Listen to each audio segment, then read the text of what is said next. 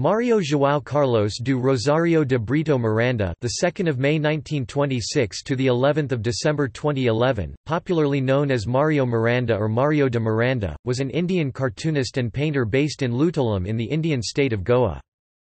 Miranda had been a regular with the Times of India and other newspapers in Mumbai, including the Economic Times, though he got his popularity with his works published in the Illustrated Weekly of India. He was awarded Padma Vibhushan in 2012.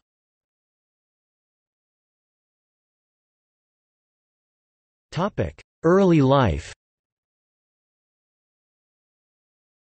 Miranda was born in Daman, then in Portuguese India, to Catholic parents. At an early age when his mother saw him drawing on his home's walls, she brought him a blank book, which he calls his diary. He even started getting into trouble at school, for sketching Catholic priests. Mario Miranda's early cartoons presented vignettes of Goan village life, a theme he is best known for even today.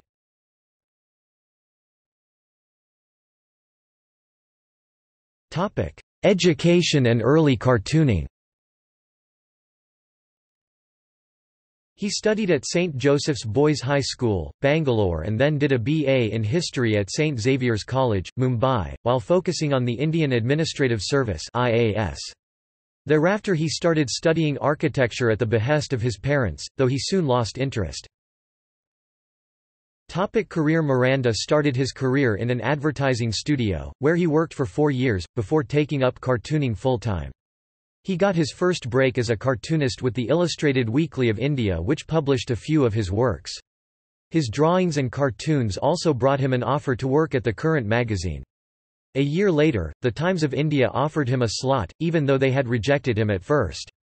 Thereafter, his creations, such as Miss Nimbupani and Miss Fonseca, appeared on a regular basis in Femina, Economic Times, and the Illustrated Weekly of India.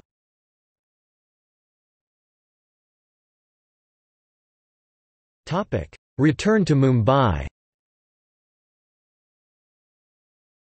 After five years in England, Miranda returned to Mumbai and was offered back his old job with the Times of India, where he worked with noted cartoonist, R.K. Laxman. Thereafter, Miranda met artist Habiba Haidari. They got married and had two sons, Raul and Rashad.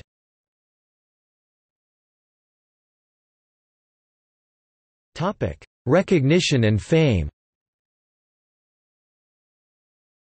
Miranda's big break came in 1974, when, at the invitation of the United States Information Services, he traveled to America, which enabled him to promote his art and interact with other cartoonists in the United States and also got a chance to work with Charles M. Schulz, the creator of Peanuts and met Herblock, the editorial cartoonist of The Washington Post. He was awarded the Padma Shri in 1988, the Padma Bhushan in 2002 and All India Cartoonists Association, Bangalore, honoured him with a Lifetime Achievement Award.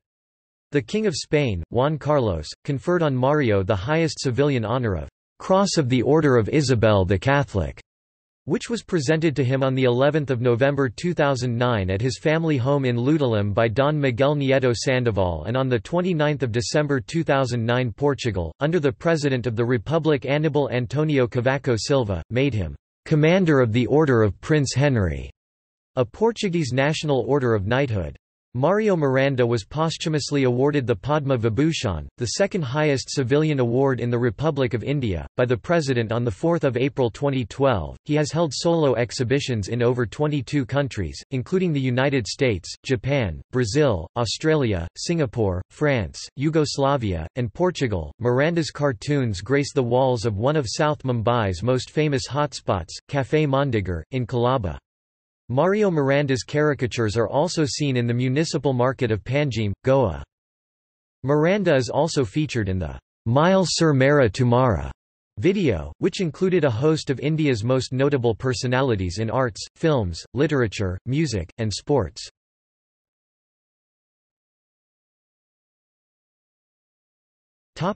Mural in Café Mondegar In 1990s, Rushi Yazdagardi then owner asked Mario Miranda to draw murals cartoons on two opposite walls of Café Mondegar. Both walls have different themes. Whilst one wall is dedicated to the life in Mumbai, the other wall is dedicated to atmosphere in the café. Murals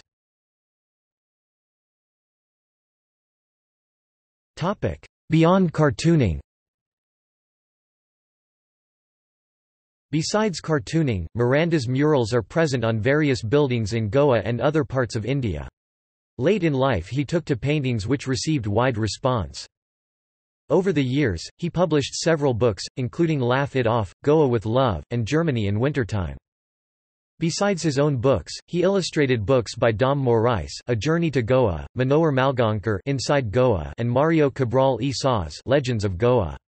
He also illustrated many children's books, including Dul Dul, The Magic Clay Horse 1968, The Adventures of Pilla the Pup 1969, and Lumbdoom, The Long-Tailed Langur 1968, all written by Uma Anand and published by India Book House, Mumbai, under its Echo imprint.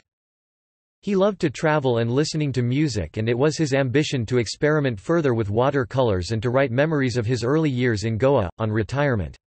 He was not able to fulfill these two latter ambitions. Topic later years and death After retirement, Miranda lived in his ancestral home, at Loutolim, a village in Salsette, Goa, with his wife, younger son and their pets. This house features in the 1985 Shyam Benegal film, Trikal. Even after he retired, Miranda's work was seen regularly in Mumbai publications, and he was invited to travel to countries such as Mauritius and Spain, and draw their local cultures. On the 11th of December 2011, Mario Miranda died of natural causes at his home in Loutolim. His funeral was held on 12 December 11 at Loutolim Saviour of the World Church, where the family choir of Miguel Cotta, rendered for the first time Andrew Lloyd Webber's version of Pai Jesu.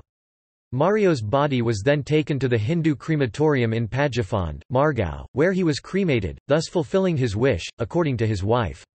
Indian cartoonist graphy and fine artist, Vijay N. Seth Vins paid tribute to Miranda, whom he considered as a mentor, with pen and ink that were at his command to churn out lines that every nib would be jealous of. He brushed aside the old school of cartooning using the brush, and set a new norm to use the nib pen and to master it for this branch of art. Mario created characters that gave his daily audience their quota of a smile without malice. His trips around the globe produced subtle close observations of the local musings, a fitting example of how far can one stretch the parameters of this branch of neglected art. In 2013, a road junction in Mumbai was named after Miranda. In May 2016, Google honored him with a doodle on his 90th birth anniversary. The doodle showcased a typical Mumbai neighborhood scene during the rains. Topic: Exhibition on the works of Mario Miranda An exhibition named A Pocketful of Chuckles on the works of Mario de Miranda is also being held by Galleria Gitanjali, Panjim from 30 April 2016. This is the largest exhibition on the original paintings of Mario de Miranda. The Life of Mario, 1949 was also brought out by Gerard da Cunha, a 288-page compilation of caricatures by the 23-year-old Mario Miranda in 1949. This is the third in a series that includes the years 1950 and 1951. Mario Miranda's biggest exhibition in state gets underway in Panaji. Retrieved 2 May 2016.